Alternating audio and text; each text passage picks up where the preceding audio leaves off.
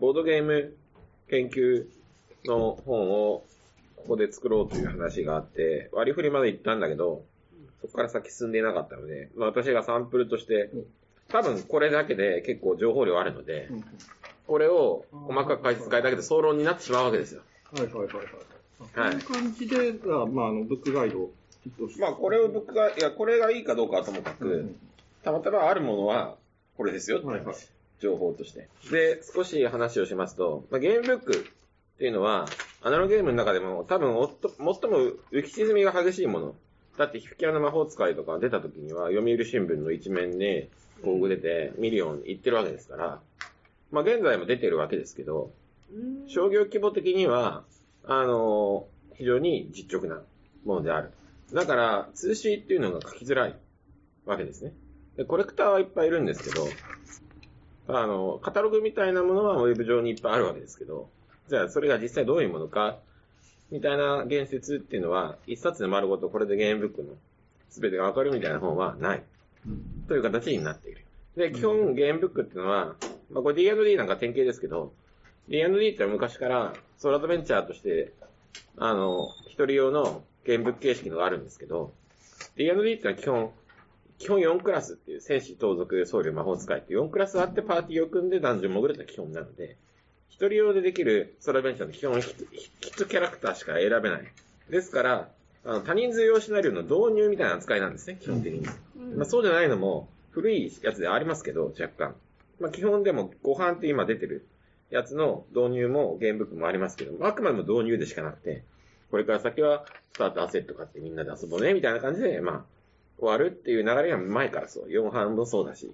それで、あの、ただ、ゲームブック専門読者って TRPG まで進まないけど、ゲームブックやってる人っていうのは結構ですね、無視できない数いてですね。それは、例えばドラーガの塔のゲームブックって皆さんご存知かわかりませんが、非常に細かいマッピング、全60回のマッピングが3巻本でできるわけです。それをずっとやってるタイプの人とかです。こう一人遊び、要はちょっと奥手で、かどうかわかりませんが、自分では多分そう思ってる人ですね。だから、あと仲間が得られなかった人とか。で、でもゲームブックは好きだから。やってるっていう読者ってかなりいるんですね。ですから、ちょっと違う。TRPG と。また。そうが。微妙に。例えば私なんかっていうのは、あの、ゲームブック専門読者から評価されてないわけですよ。あの、TRPG もやる人から評価されてるけど、それはパズラー的な、その細かいマッピングするようなゲームブック作らないから。という話ですね。一人読む向け。まあ、それはともかくとして、あの、だから特定タイトルの研究所っていうのはある。一番有名なのは、この You Are the Hero っていうやつで、これは網羅非常に細かい裏話みたいなのいっぱいあって、ファイティングファンタジーっていうのがゲームブックの代表的なシリーズ。ここでも何回かありましたが、まあこれはいいでしょう。ここで、ここで持ってきたこともあります。で、あくまでそれを取れって、トンネルサントローズについて世界で2番目に詳しい研究所。T&T が世界で2番目だから2番目って言ってるんですけど、まあ実質的には一番詳しい。スラドベンチャーについても、はい、TNT のシステムってマジックポイント制でしたっけ？あれ。あの、体力量を減らす。体力、あ、そうだ、体力か、体力か。はい。だから最近の班はマジックポイントが出てきてきた。うん。はい。ですから、魔法、魔法、あの、ま、ベテランの魔術師になれば体力が上がるから、ムキムキマッチョな魔法使い。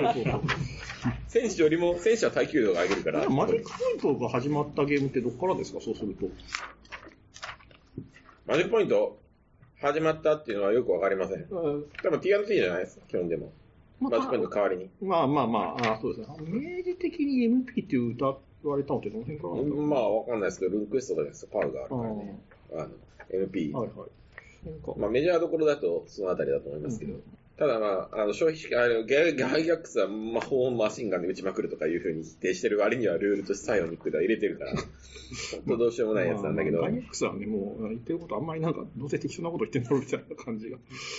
まあ、あくまでそれを取れっていうのも、もう完売してるんですけど、めちゃくちゃ詳しいので、とんでもない、あの、白論レベルです。細かいさで言えば。で、国産のゲームブックのリストっていうのはね、ないんですよ。はい。ない。あの、特にこれ、双葉社のファミコン冒険ゲームブックっていうのは、スタジオハードがやっていて、まあ、コンセプトだけ聞いて、あの、同時並行で、ほぼ丸投げで、あの、プロジェクトを組んで作っているっていうような作り方をしていたらしい。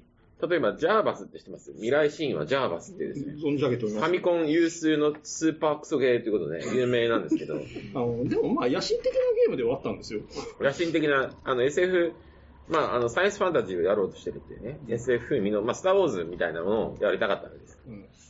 であれを書いた人は成田孝之。あの、今、竹部信明として知られている人がゲームブック書いてる、ゲームブック版傑作なんですね。はい。そういうことが起きる。で、裏話っていうのは、これ、ルパン三世シリーズに限っていますけど、それは復刻していてですね、2021年に。で、あの、亡くなってしまいましたが、えー、あの、無責任単調平、吉岡平さんとかも、このシリーズを書いていたわけですね。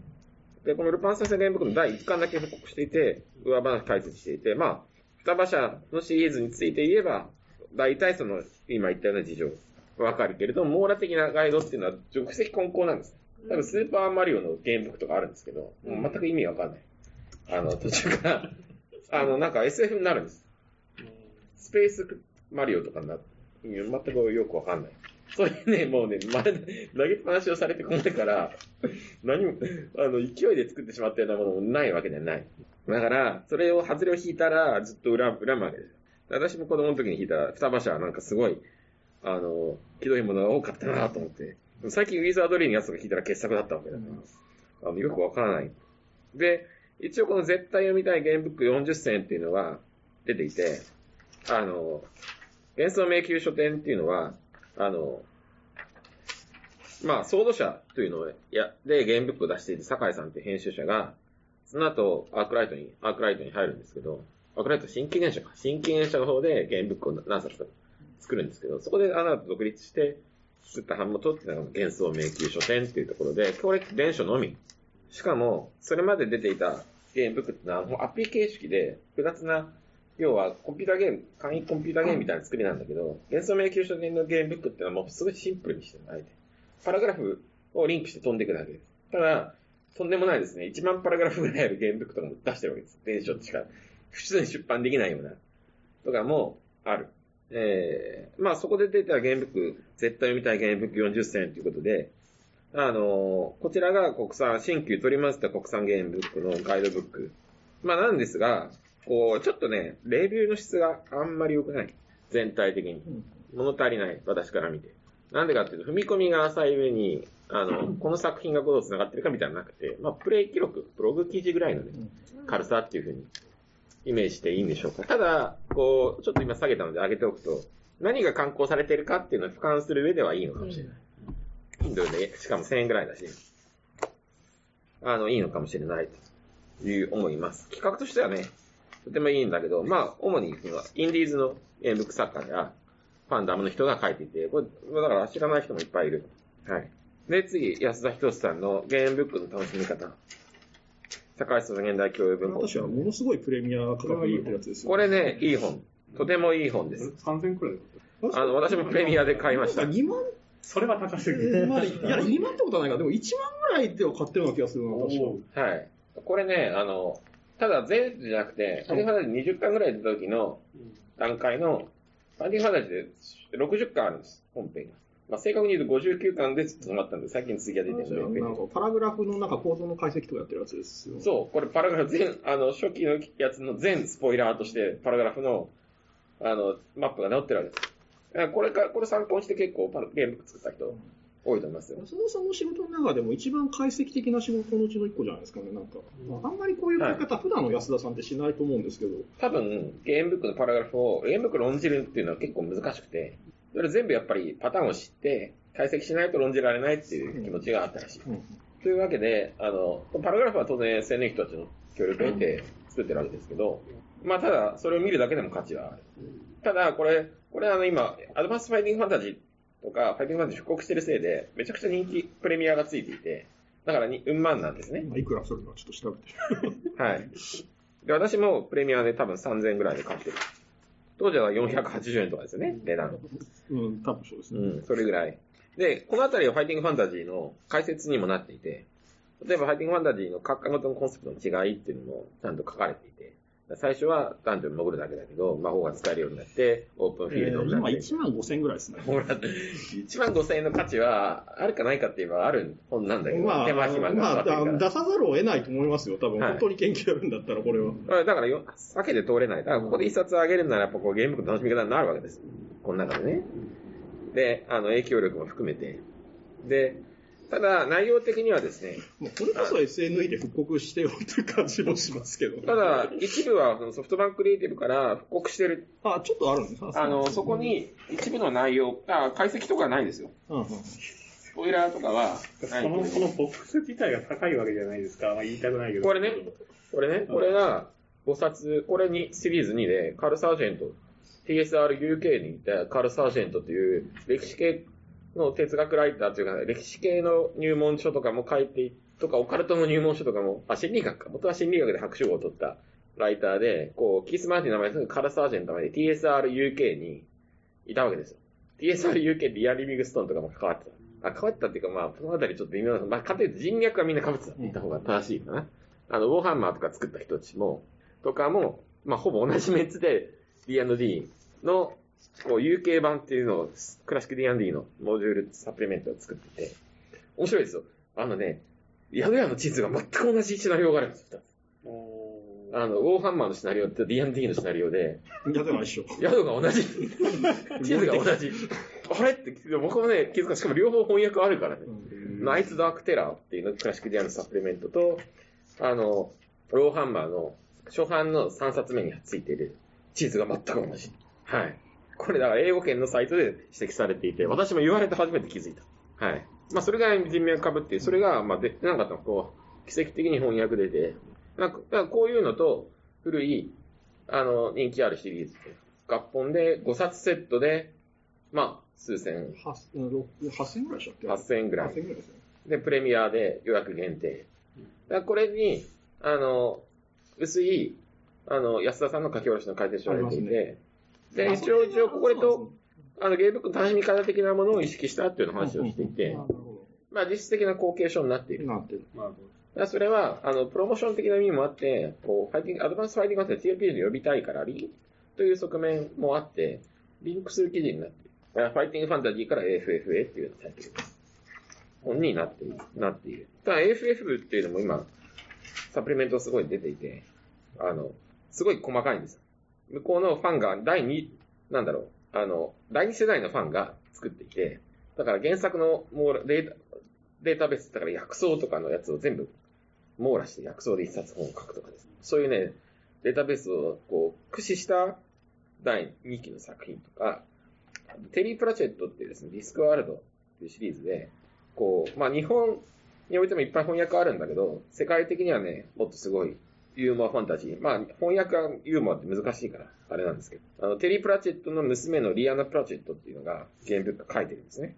もともとそのリアナ・プラチェットは、あの、コンピューターゲームのノベライズも結構した人ですけど、第二世代の作家っていうのが入ってきて、で、雑誌媒体、これホワイトドワーフ、見たら現在489号まで今でもずっと出てますね。出てますね。で、年間サブスクリプション出ているので、まあもう今やゲームブックとは何の関係もないですけど、はい。もちろん。90年代の終盤まで。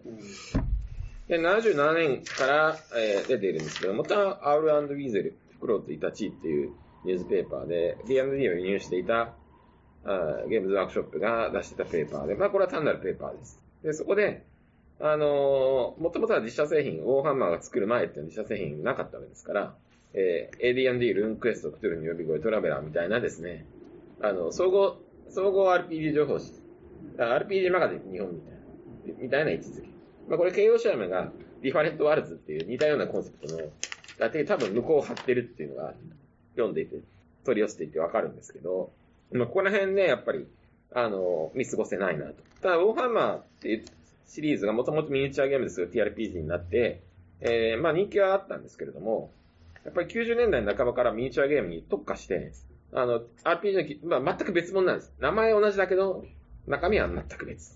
完全ミニチュアゲーム情報誌です。で、ウォーハンマーだけじゃなくて、あの、ウォーハンマー 40K っていうね、SF ものとか、ロード・オブ・ザ・リングっていう指輪もたりのミニチュアとか、そういうのがサポートされているのがホワイトドア。単純にゲームズワークショップが90年代の半ばからほぼミニチュアゲーム専門の会社になったからというのもまあ大きいと思うんですけど。そうですね。ただまあ無視はできない。で、ホワイトワーフの初期のやつとかは僕も結構持っていて、うん十冊持ってるんで、まあ、次、ウォーロック。これは、あの、ヒューキャマ FF シリーズファイティングファンタジーのヒットを受けて投下されたゲームブック専門誌で、まあこれがあったから日本版ウォーロックっていう形で、ゲームブック雑誌のウォーロックっていうのが出て、で、これ記事、例えば、ヒューキャの魔法使いの、あの、文章は全く同じだけど、鍵の数字の番号とか違うバリアントとかがあって、マニア向けですけど、そういうね、なんだろう、あの、ス、スーパーマリオ長谷園なんとかみたいなのありましたね。ああいう感じ。はい。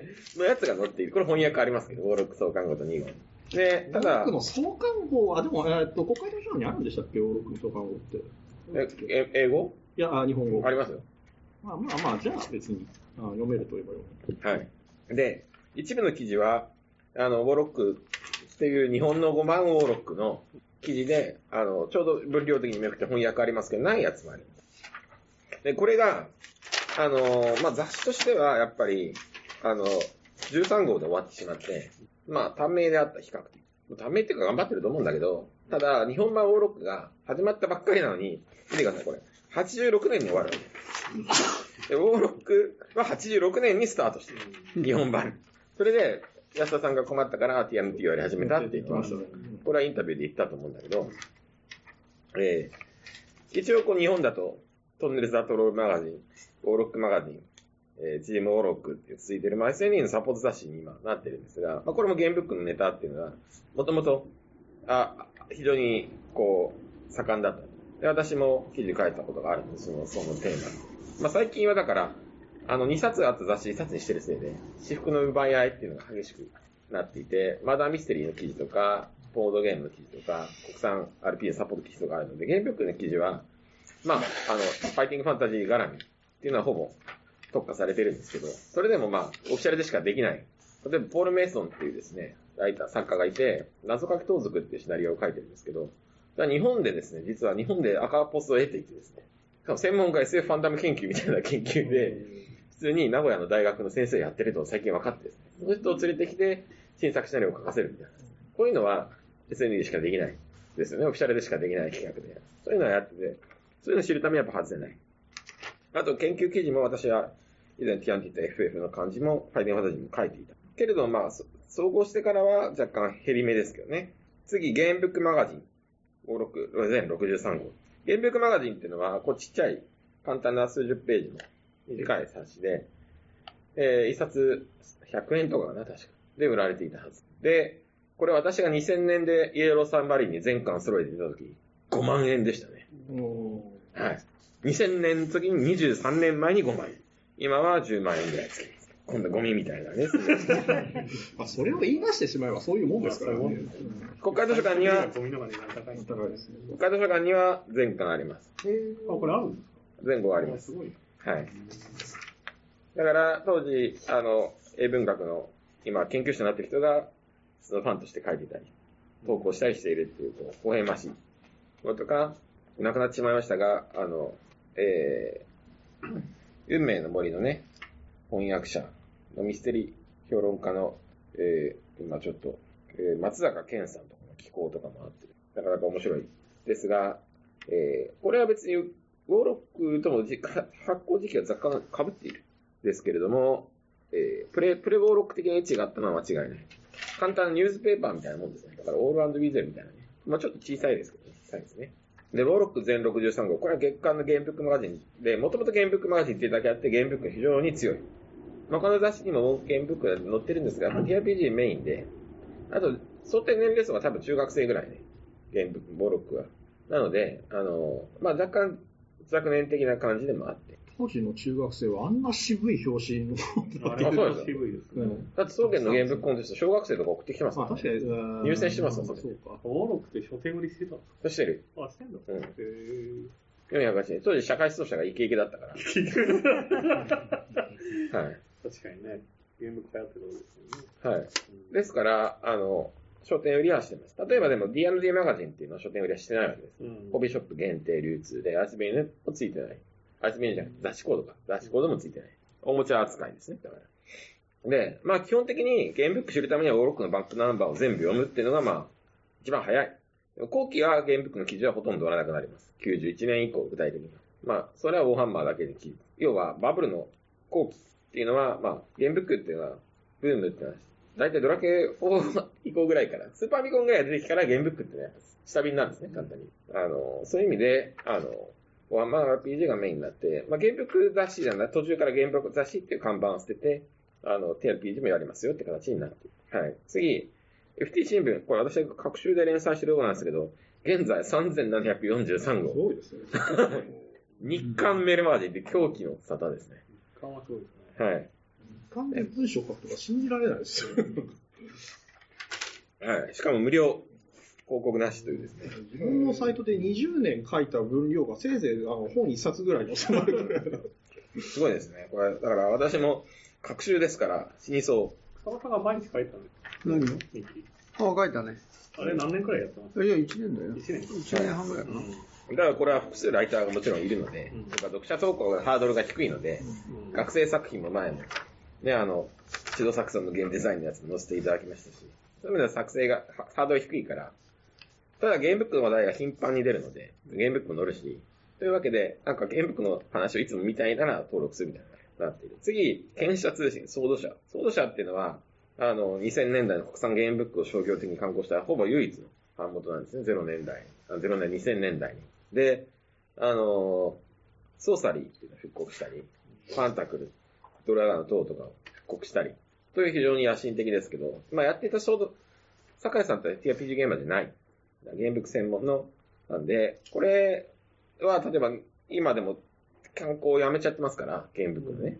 会社はある会社は学術出版社としてあって、ちょっと前までクトゥール関係の菊池秀幸のね、はあとか、そういうのを出していたわけですけど、そっちの方も、もう今止まり気味になっている。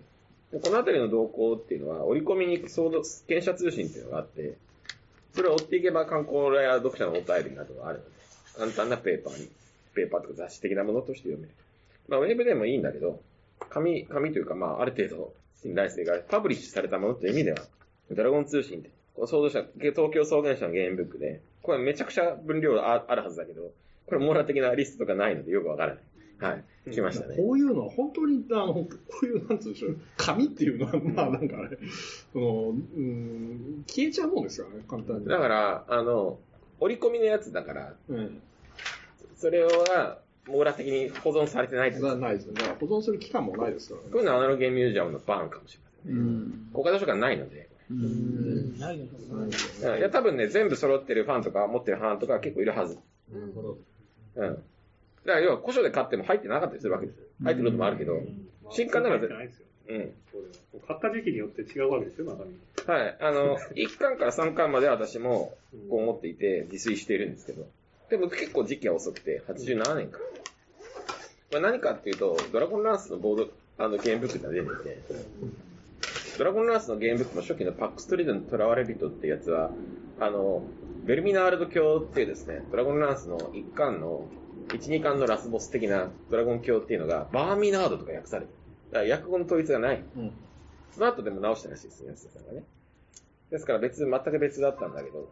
で、その他、えー、フォーゲーマーで、まあ私がこの前、ジャクソン・リビングストーンと、あのあっちにもこっちにも。ダークソウルエルデンリングのね、クリエイター、タッチ安田さんっていうのを記事ありましたけど、まあちょくちょく、新刊のプロモーションとかも兼ねて記事に出てる。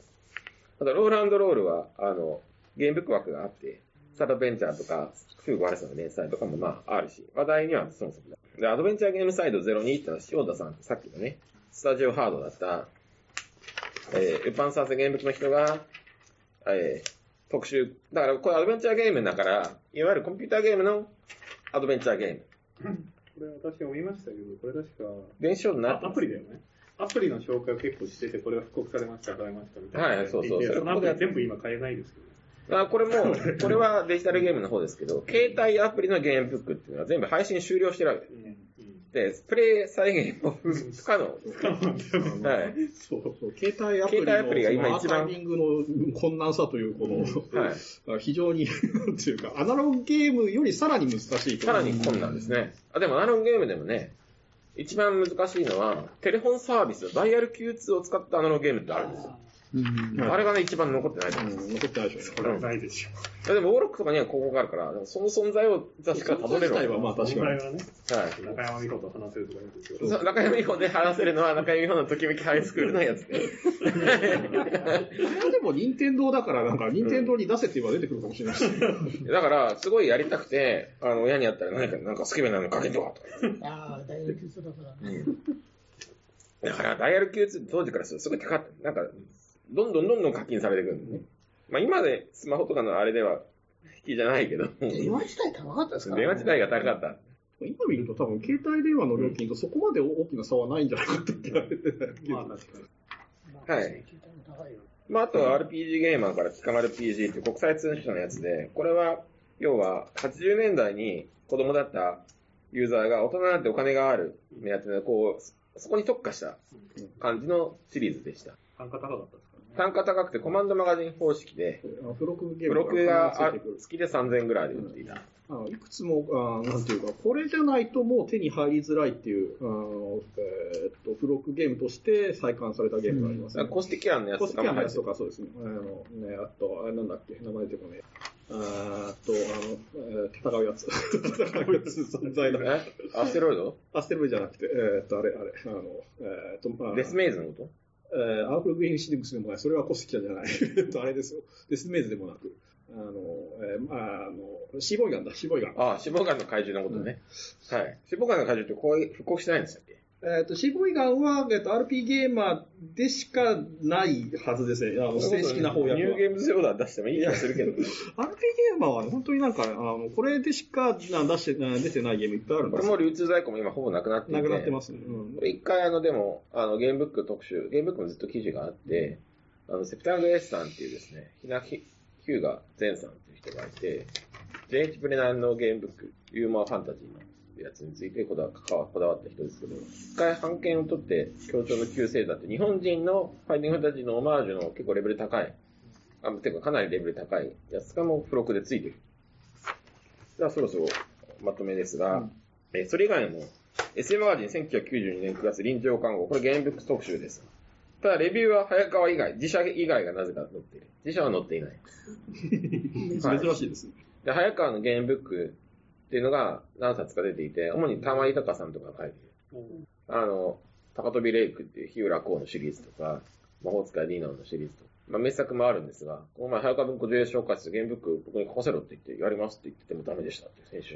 いや、そんなの10冊もないんだから、入れろよみたいな。当時の売れてる数って全然違うんで、無視できないです。まあ、その他、あの、特集はとかいっぱいあるので、ゲームブックをやるんであれば、まとまった研究者向けの、あの、ゲームブックを学ぶ人のためにみたいなのはない。